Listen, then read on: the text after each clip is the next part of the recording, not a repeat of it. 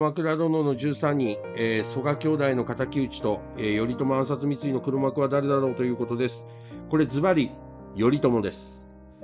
理由はですね、これ、この事件の後、弟の範頼を伊豆の修善寺に幽閉して殺してるんですね。これは北条政子に対して範頼が、もしもの時は私がいますから安心してくださいという発言をしたからということになるんですけども、これって上総介の時と同じ方法で、何かの事件を利用して自分の味方か、自分の敵かということを試していると思うんですね。まさに頂点に立ったものしかわからない怖さ、わからない感情です。よって北条時政が黒幕なんじゃないかもしくは、えー、違う人が黒幕なんじゃないか御家人が黒幕なんじゃないかいろいろありますけども黒幕は頼朝です。